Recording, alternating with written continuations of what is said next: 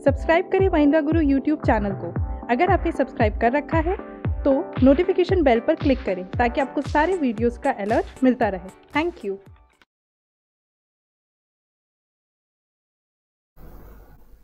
Hello and welcome to MahindraGuru.com's official YouTube channel and you are watching a new session of For Your Information, hashtag FYI जहाँ आज हम discuss करेंगे 22 अप्रैल का इतिहास। जी हाँ और इसी डिस्कशन में, इसी चर्चा में बनी हुई है हिस्ट्री गुरु हमारे साथ आज इस सेशन में। तो करते हैं स्वागत, उनका बढ़ते हैं इस सेशन में। And yes let's look upon to the first event जो घटा था 1970 1970 के दशक में 22 अप्रैल का ही दिन था जब पहली बार अर्थ डे ऑब्ज़र्व किया गया था। जैसा कि बिल्कुल मैम भी अग्री करेंगी। आज हम मना रहे हैं विश्व भर में अर्थ डे और इस अर्थ डे की शुरुआत हुई थी 1970 से 22 अप्रैल के ही दिन। जी हाँ 22 अप्रैल अर्थ डे मनाया जाता है और ये एग्ज़ाम पॉइंट ऑफ़ व्यू से बहुत इंपॉर्टेंट है। तो आज का थीम क्या है चलिए जान लेते हैं। इन्वायरमेंटल एंड क्लाइमेट लिटरेसी जो हमारा थीम है अर्थ डे का, ये एग्ज़ाम्स में आपके जीए के क्वेश्चन हो या फिर जीएस के क्वेश्चन हो, बहुत इंपॉर्टेंट है तो इसे पॉइंट कर लीजिएगा। बिल्कुल। तो twenty second April is observe as then Earth Day और पहली बार मनाया गया था 1970 में और बिल्कुल हर साल किसी न किसी थीम से मनाया जाता है। तो आज की बात करें 2017 की बात करें सो तो 2017 का थीम है इन्वायरमेंटल एंड क्लाइमेट लिटरेसी चलिए let's proceed to the next part और देखते हैं जन्मदिन किसका मनाया जाता है बाईस अप्रैल के ही दिन। तो yes mister Vladimir Lenin eighteen seventy was the year and very same day twenty second April के ही दिन जन्मे व्लादिमीर लेनिन का। आज जन्म हुआ था तो इनके बारे में मैम हम क्या जान सकते हैं? ये एक संस्थापक थे सोवियत यूनियन के जिनका जन्म 22 अप्रैल 1870 में हुआ था। बिल्कुल तो व्लादिमीर लेनिन की अगर हम बात करें तो इससे अच्छा इंट्रोडक्शन इनका कुछ हो ही नहीं सकता। व्लादिमीर लेनिन ही थे जिनने संस्थापक थे सोवियत यूनियन के तो बिल्कुल स्टैब्लिश किया था सोवियत यूनियन को। सोवियत यूनियन से हम सभी वाकिफ हैं तो इसके थ्रू हम ये याद रख सकते हैं कि व्लादिमीर लेनिन कौन थे। चलिए, बढ़ते इसी के साथ क्वेश्चन आंसर सेशंस की तरफ़ and let's look upon to the question जो आपके आने वाले एमटीएस एग्ज़ाम्स एसएससी एग्ज़ाम्स के लिए काफ़ी ज़्यादा हेल्पफुल होंगे हर दिन हम आपको प्रोवाइड कराते हैं टेन क्वेश्चन तो आपका एफ़ क्वेश्चन बैंक जुड़ता जाता है तो आज भी एक और नया पन्ना उसमें जोड़ते हैं और बढ़ते हैं सेशन की तरफ़ and let's upon to the first question and here it is For which of the following wars or revolts did J.B. Mallason say this? There has never been a war whose result was so permanent and so vast. निम्नलिखित में से किस युद्ध या विद्रोह के लिए जेबी मल्लेसन का यह कहना था कि ऐसा युद्ध कभी नहीं हुआ, जिसका परिणाम इतना स्थायी और इतना विशाल था? Option A battle of Plassey B battle of Buxar C battle of Wandiwash and D revolt of 1857 तो चलिए जानते हैं इसका आंसर क्या है। जी हाँ इसका आंसर है B battle of Buxar battle of Buxar 1764 में लड़ा गया था। इसके जॉइंट फोर्सेस मुस्लिम्स थे और दूसरे साइड ब्रिटिशर्स थे. Under the leadership of Britishers Munro के लीडरशिप के अंडर में मुस्लिम्स जो जॉइंट फोर्सेस थे वो हार गए थे. चलिए जान लेते हैं जॉइंट फोर्सेस में थे कौन? शाह आलम थे दूसरे सुजाउद्दौला थे एंड तीसरे थे आपको आलम शाह. चलिए आगे बढ़ते हैं. अगले क्वेश्चन की तरफ़ और ये रहा अगला question who brought Ashoka pillar to Delhi Ashok स्तंभ किसके द्वारा दिल्ली लाया गया था? जी हाँ शेरशाह सूरी, नंबर बी है फतेह सिंह, नंबर सी है फिरोज शाह तुगलक, या फिर नंबर डी है बलबन। तो चलिए बढ़ते हैं इसके आंसर की तरफ़, कि इसका आंसर क्या था? जी हाँ answer C, Firoz Shah Tughlaq. Firoz Shah Tughlaq Tughlaq dynasty के थर्ड रूलर थे, जिनको अपनी अस्तित्व, अपनी पर्सनालिटी जो उनको अपना पर्सनालिटी स्टैब्लिश करने में बहुत समय लगा बिकॉज़ इनके द्वारा, इनके भाई के द्वारा, जो इनके पहले सक्सेसर थे, उनके द्वारा सब कुछ खराब कर दिया गया था। मोहम्मद बिन तुगलक ने सब कुछ खराब कर दिया था। क्यों? क्योंकि उनके कुछ पाँच जो उनका ब्लंडर था उसके थ्रू सब कुछ खराब हो चुका था तो इनको अपना नाम बनाने के लिए बहुत कुछ करना पड़ा था।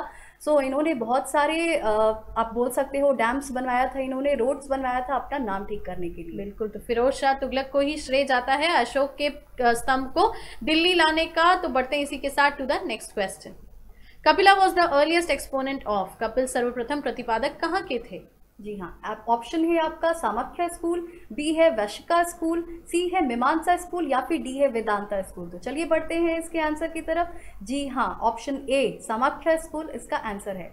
बिल्कुल तो अगर बात करें सांख्य स्कूल की या सामख्या स्कूल की तो डेफिनेटली कपिला अर्लीस्ट एक्सपोनेंट यहीं के थे। बढ़ते हैं इसी के साथ to the next question Who among the following has been included in the list of world's 50 greatest leaders by Fortune magazine who are transforming the world and inspiring others to do the same?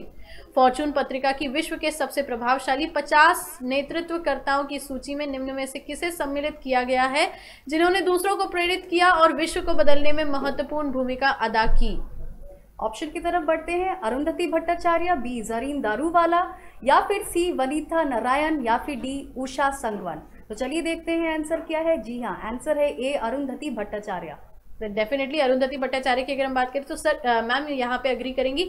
SBI की CEO the chairperson बिल्कुल। अरुंधति भट्टाचार्य का इसी तरीके से introduction हम बिल्कुल जान सकते हैं। थोड़े ही दिन पहले ये भी था आरबीआई की गवर्नर के लिए ये उम्मीदवार भी थी। चलिए बढ़ते इसी के साथ to the next question who founded the city of Pataliputra Pataliputra शहर की स्थापना किसने की थी?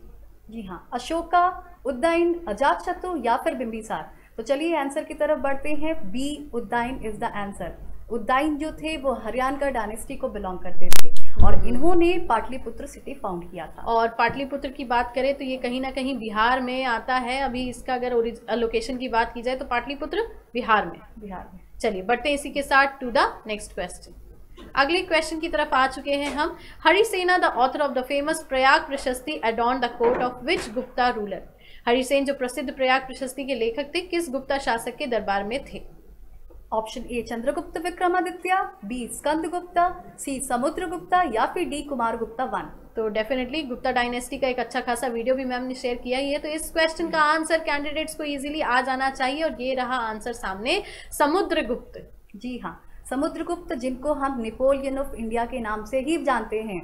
Napoleon of India V A Smith या फिर विंटे विंसेट ए स्मिथ ने इनको नेपोलियन ऑफ़ इंडिया का नाम दिया था। बिल्कुल। तो Samudra Gupta is the right answer for this question let's move on to the next one all of the following diseases are caused by a virus except निम्नलिखित रोगों में से किसके अतिरिक्त सभी विषाणु जनक रोग हैं? A typhoid B jaundice C mumps या फिर D influenza so definitely the right answer here it is option number eight typhoid जी हाँ typhoid is the right answer बिल्कुल क्योंकि अगर बात करें यहाँ पे सारी की सारी डिसीजेज वायरस से होती है बट टाइफाइड की बात करें तो बैक्टीरिया हाँ, से होने वाली है बैक्टीरियल डिसीज है टाइफाइड चलिए बढ़ते हैं इसी के साथ to the next question accumulation of nitrogenous waste products in the is an indication that the रक्त में नाइट्रोजनी अपष्टि उत्पादों का संचय एक संकेत है। किस चीज़ का है? जानेंगे। A heart is not functioning B kidneys are not functioning properly C lungs are functioning या फिर D liver is not functioning तो चलिए बढ़ते हैं आंसर की तरफ़। चलिए देखते हैं, इसका आंसर क्या है? जी हाँ answer B is the right answer kidneys are not functioning properly that means गुर्दे ठीक से कार्य नहीं कर रहे हैं। सो डेफिनेटली कहीं ना कहीं वेस्ट प्रोडक्ट्स की बात आ जाती है। सो वेस्ट प्रोडक्ट्स में किडनीज का रोल ही आ जाता है हमारी ह्यूमन बॉडी से। तो इस पर्टिकुलर क्वेश्चन का सही आंसर है। Option B that is kidneys are not functioning properly या गुर्दे ठीक से कार्य नहीं कर रहे बढ़ते इसी के साथ to the next question normal human adult male has सामान्य व्यस्क पुरुष में क्या होता है A ten gram of hemoglobin या फिर hundred gram of blood B eight gram of hemoglobin या फिर hundred gram of blood C eighteen gram of hemoglobin या फिर हंड्रेड ग्राम ऑफ़ ब्लड या फिर D fourteen gram of hemoglobin या फिर हंड्रेड ग्राम ऑफ़ ब्लड चलिए बढ़ते हैं आंसर की तरफ़ आंसर की तरफ़ बढ़ते हैं और ये रहा सही answer that is option number D fourteen gram of hemoglobin पर हंड्रेड ग्राम ऑफ़ ब्लड बिल्कुल। तो यहाँ पे बिल्कुल ये कहीं ना कहीं कैलकुलेशन है हमारे ब्लड में हीमोग्लोबिन प्रेजेंट होने का। सो हर 100 ग्राम ब्लड में 14 ग्राम हीमोग्लोबिन पाया जाता है एक नॉर्मल ह्यूमन अडल्ट में। बढ़ते इसी के साथ to the next question antibiotics are administered in the certain diseases with object to antibiotic दवाएँ कुछ बीमारियों में किस उद्देश्य से दी जाती हैं? A produce toxins against bacteria B stimulate production of white blood cells are fighting the diseases या फिर C inhibit the growth of bacteria या फिर D stimulate the production of antibiotics that means अगर एंटीबायोटिक दवाई की बात करें तो वो कुछ बीमारियों में सिर्फ़ किसी एक उद्देश्य से दी जाती हैं और वो उद्देश्य ये रहा हमारे सामने option number C that is inhibit the growth of bacteria मतलब जीवाणुओं की वृद्धि को रोकने के लिए। तो स्टॉपेज के जैसे एंटीबायोटिक्स दिए जाते हैं कुछ एक बीमारियों में सो ऑप्शन नंबर सी है इस क्वेश्चन का बिल्कुल सही आंसर चलिए इसी क्वेश्चन के साथ we'll end up this session do not forget to click on the like button before getting offline comment करके बिल्कुल हमें बताइए the more improvisation so that we can work upon it and yes video share करना ना भूलें। New viewers do subscribe our channel and get through with all the videos available on your favourite channel that is Mahindra Guru dot com F के नए session में फिर मुलाकात होगी आपसे। तब तक के लिए खुश रहिए ख्याल रखिए पढ़ते रहिए भूलेगा मत। आपकी सफलता में ही हमारी सफलता है। Thank you so much thank you so much